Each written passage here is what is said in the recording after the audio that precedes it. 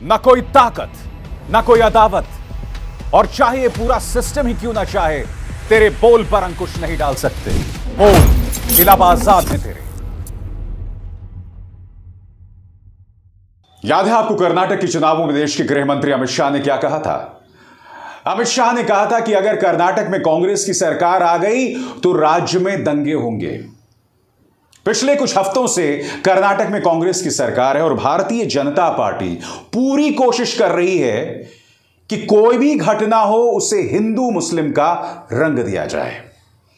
ताज़ा मिसाल है जैन मुनि की हत्या का मामला। कल पुलिस सामने आती है, दोनों आरोपियों के नाम सामने आते हैं और पुलिस यह कहती है कि इस मामले के पीछे वित्तीय कारण था।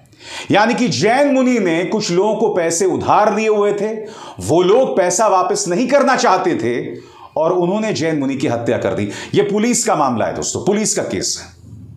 ज़ाहिर सी बात है, पुलिस की हर थ्योरी पर विश्वास करने की ज़रूरत नहीं है। मगर आपके स्क्रीन पर यह संसदीय कार्य मंत्री प्रहलाद जोशी, ये वही शख्स हैं, याद कीजिए, प्रधानमंत्री नरेंद्र मोदी। जब नई संसद का उद्घाटन हुआ था और जब संगोल के सामने साष्टांग हुए थे, तब इन्हीं प्रहलाद जोशी ने कहा था कि देखिए, महाराजा, देश के महाराजा संगोल के सामने सिर झुका रहे हैं। ये वही प्रहलाद जोशी हैं। अब प्रहलाद जोशी और सिर्फ़ प्रहलाद जोशी ही नहीं, भारतीय जनता पार्टी के कई नेता कह रहे हैं कि कांग्रेस की सरकार अपीजमेंट पॉलिटिक्स कर रही है। यानी कि मुसलमानों को बचाने की कोशिश कर रही है और मुसलमानों से जुड़ी राजनीति कर रही है। अब जो लोग पकड़े गए हैं, उनके नाम क्या है मैं आपको बताना चाहता हूँ। दो नाम है दोस्तों, जो सामने उभर कर आए हैं। पहला नाम है नारायण बसप्पा मादी। नारायण बसप्पा मादी। क्या नारायण किसी मुसलमान का नाम हो सकता है? नारायण बसप्पा मादी क्या किसी मुसलमान का नाम हो सकता है? और दूसरा नाम हसन दलायत। हो सकता है मैं इसका प्रोनाउंसिएशन या उच्चारण सही नहीं कर रहा हूँगा उनके सरनेम का। मगर पहला नाम है हसन। बस इसी नाम को लेकर भारतीय जनता पार्टी जो है, वो सांप्रदायिक राजनीति कर रही है।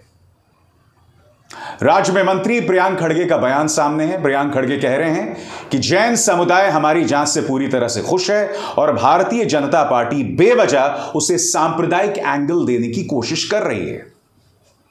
मैं आपसे एक सवाल पूछना चाहता हूँ। मैं फिर कह रहा हूँ, पुलिस जो दावा कर रही है उस पर विश्वास मत कीजिए। मैं भी नहीं करता हूँ पुलिस की हर बात पर विश्वास।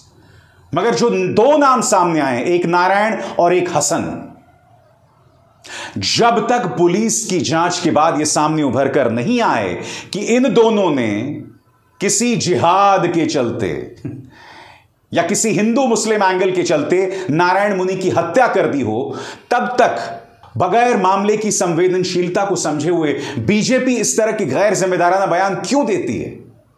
अब याद कीजिए मैंने कार्यक्रम की शुरुआत में क्या कहा था दोस्तों? कार्यक्रम की शुरुआत में मैंने आपसे क्या कहा था? जब देश के गृह मंत्री अमित शाह ने यह भाप लिया था कि कर्नाटक में वो हारने वाले हैं, तब उन्होंने कहा था कि कर्नाटक में अगर सरकार आ गई कांग्रेस की तो दंगे होंगे। दंगे कौन करवाने की कोशिश कर रहा है अमित जी? ये तो सामने दिखाई दे रहा है ना। कर्नाटक में एक मामला जिसमें फ़िलहाल जो तथ्य मौजूद हैं, किसी भी तरीके से हिंदू मुस्लिम एंगल की बात नहीं करते, और आप वहाँ क्या कर रहे हैं मुझे बताइए? और क्यों कर रहे हैं? क्या कर्नाटक की जो जनता है, उनकी जान को लेकर आपको बिल्कुल भी परवाह नहीं है? अगर मैं दो मिनट के लिए मान भी लूँ कि इसमें हिंदू, मुस्लिम एंगल है, हालाँकि नहीं हो सकता, क्योंकि जैसे मैंने बताया, नारायण है इसमें। अगर दो मिनट के लिए मान भी लिया जाए तो बड़ा सवाल यह कि क्या एक पॉलिटिकल पार्टी को, जो केंद्र में सत्ता में है, उसे माहौल को भड़काना चाहिए? बताइए, क्या उसे भड़काना चाहिए या नहीं भड़काना चाहिए? इस सवाल का जवाब दीजिए आप। और बीजेपी ऐसा क्यों कर रही है? उसका पालतू प्रचार तंत्र क्यों झूठ फैलाता है? मैं आपको एक और मिसाल देता हूँ। इनका एक पालतू पत्रकार है, इस पर पुलिस केस भी दर्ज है, मैं आपको बतलाना चाहूँगा। सुप्रीम कोर्ट ने भी इस पर सख्ती की है। यह अब तक क्यों गिरफ़्तार नहीं हुआ मैं नहीं जानता हूँ। टमाटर के दाम देश भर में बढ़ रहे हैं। कहीं डेढ़ सौ रुपए प्रति किलो है, कहीं दो सौ रुपए प्रति किलो है। और यह पत्रकार क्या झूठ बोल रहा है आपकी स्क्रीन पर? मुस्लिम व्यापारी और बिचौलियों द्वारा किसानों के टमाटर की जमाखोरी, किसानों को नहीं मिल रहा असली दाम, पढ़िए सुदर्शन न्यूज़ की एक्सक्लूसिव स्टोरी, व्यापार जिहाद। टमाटर के दाम बढ़ रहे हैं और यह व्यक्ति, गन्ना प्रधान पत्रकार जो है, वो उसे व्यापार जिहाद का नाम दे रहा है। सिर्फ़ इसलिए कि आपको बीजेपी सरकार को उसकी ज़िम्मेदारी से बचानी है और एक ऐसा मुद्दा जो बीजेपी सरकार की नाकामी दिखानी है, उसे उसके फ़ायदे में बदलना है, इसीलिए आपने हिंदू मुस्लिम एंगल दे दिया। मगर ये पहली बार नहीं हुआ है दोस्तों। याद कीजिए, जब ईएमआईज बढ़ गए थे, यानी कि आप जो सालाना अपने मकान के लिए जो रेट देते हैं, वो ईएमआई रेट्स बढ़ गए थे, तब आज तक में इसी पत्रकार ने बाकायदा एक कार्यक्रम चलाया था। कि एक जमाने में लोग लोन लेते नहीं थे, अब लोन लेने लगे हैं। याद कीजिए मोरबी पुल हादसा, इसी पत्रकार ने, तिहाड़ जेल में पत्रकारिता का नाम रोशन करने वाले, इसी पत्रकार ने आज तक नाम के न्यूज़ चैनल में, मोरबी में जो लोग मारे गए थे, उन पर दोष मढ़ा था कि तुम वहाँ क्यों पहुँच गए थे। यह हाल है इस मीडिया का। याद कीजिए दोस्तों, बालासोर का हादसा होता है। दो सौ तिरानवे लोग एक ट्रेन हादसे में मारे जाते हैं। मगर 24 घंटे भी नहीं गुजरे होते हैं। तो वही संस्कारी प्रचार तंत्र ये झूठ फैलाने लगता है कि जहाँ पर एक्सीडेंट हुआ है, वहाँ से कुछ दूरी पर एक मस्जिद है। जबकि वो मस्जिद नहीं था, वो इस्कॉन का टेंपल था। दूसरा झूठ यह फैलाया जाता है कि स्टेशन मास्टर मुसलमान था और वो भगोड़ा है। जबकि स्टेशन मास्टर एक व्यक्ति था जिसका सरनेम था मोहांटी। हिंदू, कहने का अर्थ क्या है दोस्तों? कहने का अर्थ यह है कि इस देश के सामने जब एक बहुत बड़ी समस्या भी होती है, संकट भी होता है, तब भी वहाँ पर हिंदू, मुस्लिम और झूठ फैलाया जाता है। याद कीजिए कोरोना की पहली लहर। उस वक्त भी तबलीगी जमात पर झूठे आरोप मीडिया ने लगाए थे और बाद में तबलीगी जमात को सुप्रीम कोर्ट और औरंगाबाद हाई कोर्ट ने दोष मुक्त करार दिया था। क्यों? झूठ क्यों? और सबसे बड़ी बात, संकट आता है उस वक्त कम से कम एक अच्छे चरित्र का परिचय दीजिए। उस वक्त भी झूठ, उस वक्त भी हिंदू मुस्लिम, क्यों? हाँ, तुम में इस बात को लेकर हिम्मत नहीं होगी कि जब डीआरडीओ का एक साइंटिस्ट पकड़ा जाता है, भारत के खिलाफ पाकिस्तान के पक्ष में जासूसी करते हुए प्रदीप कुरुलकर यह व्यक्ति है और इसकी ढेरों तस्वीरें हैं आरएसएस के समारोह में शिरकत करते हुए। ढेरों तस्वीरें हैं।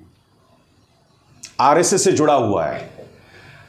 मगर क्या उन सो कॉल्ड देशभक्तों ने एक बार भी प्रदीप कुरुलकर पर सवाल उठाया, जो पाकिस्तान के लिए जासूसी कर रहा था? सबूतों के साथ यह डीआरडीओ का सो कॉल्ड साइंटिस्ट पकड़ा गया है। पाकिस्तान की एक लड़की ने इसे हनी ट्रैप किया। उसे अपनी अदाओं में फंसा लिया।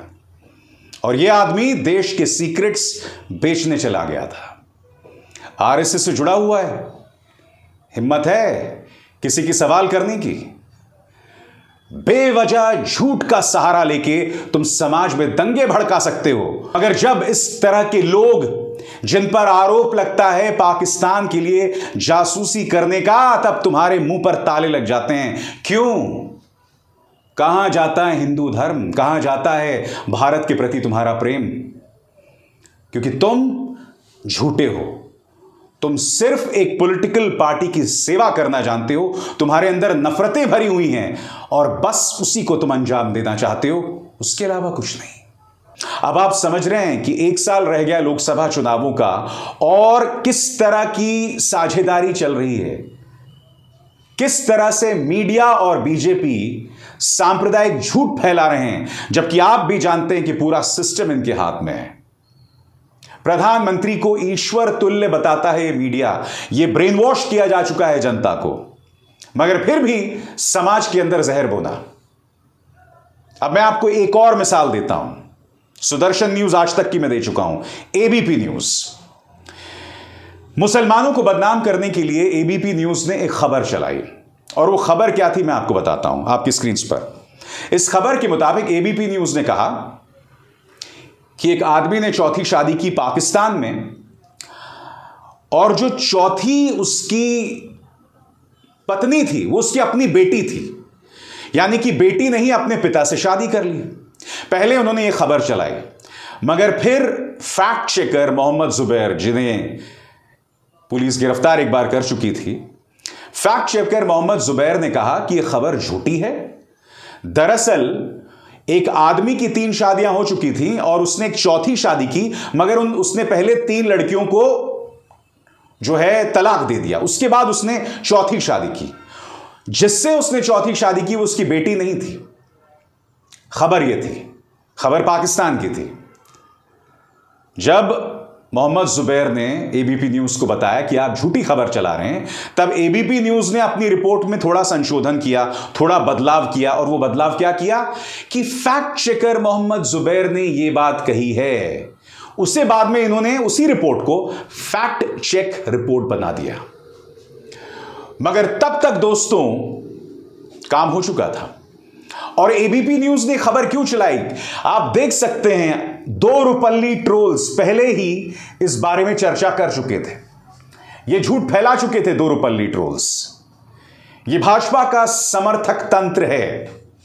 वो लोग ये झूठ फैला चुके थे और उसी झूठ पर एबीपी न्यूज़ ने रिपोर्ट बनाई और बाद में उसमें परिवर्तन लाए।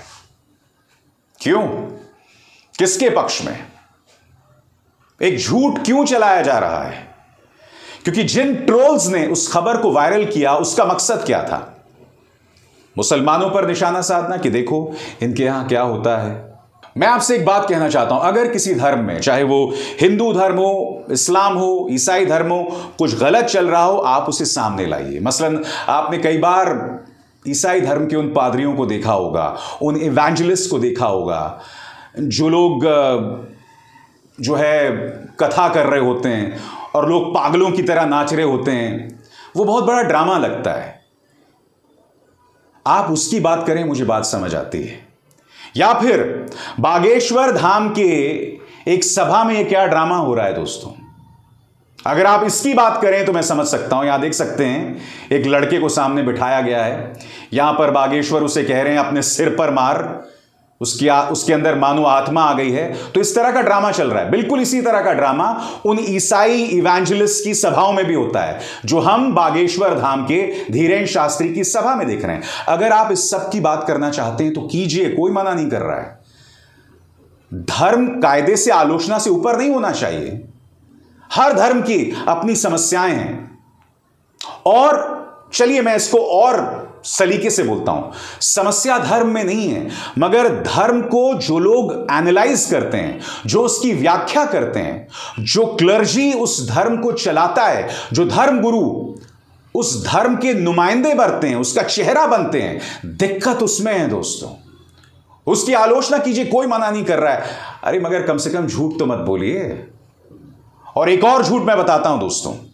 अब इस वीडियो में जहाँ सारे एक्टर्स हैं एक नाटक चल रहा है, इसमें यह झूठ बतलाया जा रहा है कि एक आदमी ने अपनी पत्नी को डाइवोर्स किया और हलाला के लिए अपने दादा के पास भेज दिया। दादा को उसकी पत्नी पसंद आ गई, अब दादा उसे नहीं छोड़ रहा है।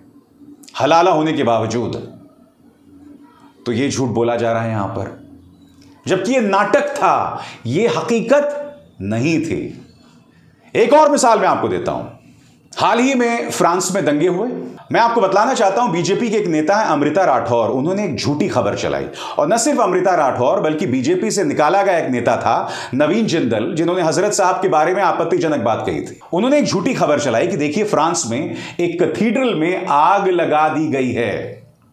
और ज़ाहिर सी बात है, कथीड्रल, ईसाई धर्म और जिम्मा किस पे ठहराया जा रहा है? मुसलमानों पर।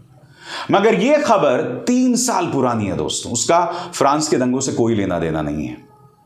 मगर यह झूठी खबर बीजेपी के एक नेता और एक पूर्व नेता चला रहा था। यानी कि कर्नाटक को लेकर झूठ, बांग्लादेश को लेकर झूठ, पाकिस्तान को लेकर झूठ, फ्रांस को लेकर झूठ यह प्रचार तंत्र हर चीज़ को लेकर झूठ बोलता है। क्योंकि उन्हें लगता है यह झूठ बोलकर एक समुदाय पर निशाना साध के हमें वोट्स मिलेंगे, छप्पर फाड़। मगर आप में से कई हिंदू इस बात को नहीं समझ रहे हैं जो इनके अंधभक्त हैं। ये लोग हम हिंदुओं को भड़काऊ बना देना चाहते हैं, डरपोक बना देना चाहते हैं, हमारी मानसिकता को ऐसे बना देना चाहते हैं कि हम हर झूठ पर विश्वास करने लगे यानी कि मध्य पूर्व के वो जो कट्टर इस्लाम था जहाँ के धर्मगुरु ये कहा करते थे, इस्लाम खतरे में है, इस्लाम खतरे में है, और उनसे सारी बातें मनवा लेते थे, ये लोग हमारे धर्म को भी बिल्कुल उसी कट्टर इस्लाम की तरह बना देना चाहते हैं। जबकि मेरा धर्म जो है वह वसुदैव कुटुंबकम में विश्वास करता है, सर्वधर्म संभाव में विश्वास करता है। मैं फिर दोहरा दूँ, अगर कुछ गलत हो रहा है, उसकी आलोचना होनी चाहिए। मगर अधिकतर मामलों में यह जो संस्कारी प्रचार तंत्र है, वो झूठ बोलता पाया जाता है। क्यों? अरे भाई, ये सवाल तो उठना चाहिए ना कि झूठ की ज़रूरत क्या है? कि आप अपनी बात बगैर झूठ कहे नहीं कह सकते? बगैर झूठ बोले क्यों नहीं कह सकते अपनी बात? बताइए। ये सवालात हैं और इससे मुँह नहीं मोड़ा जा सकता। बोल के लब आज़ाद हैं, बस इतना ही। अभिसार को दीजिए इजाज़त। नमस्कार।